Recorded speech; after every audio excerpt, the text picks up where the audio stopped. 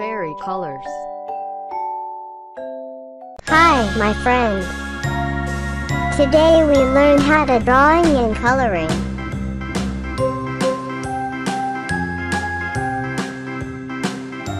W